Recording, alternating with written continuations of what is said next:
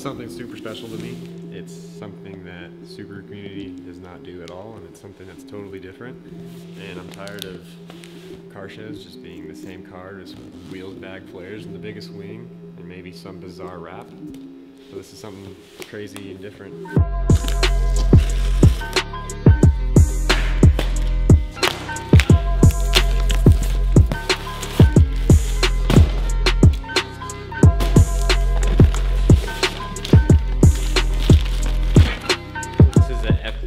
STI shifter trim piece, and I got it chromed, but I also got it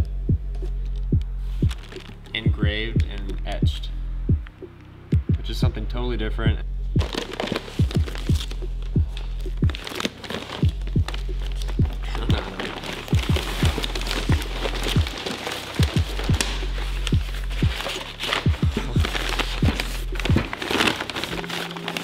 probably guess what this is.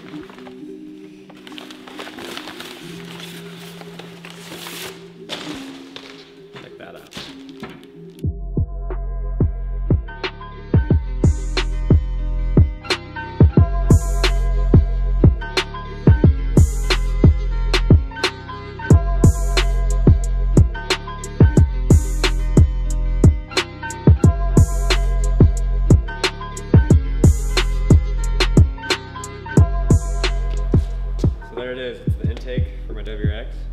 It's been chrome three times and then hand engraved with a different and cool design.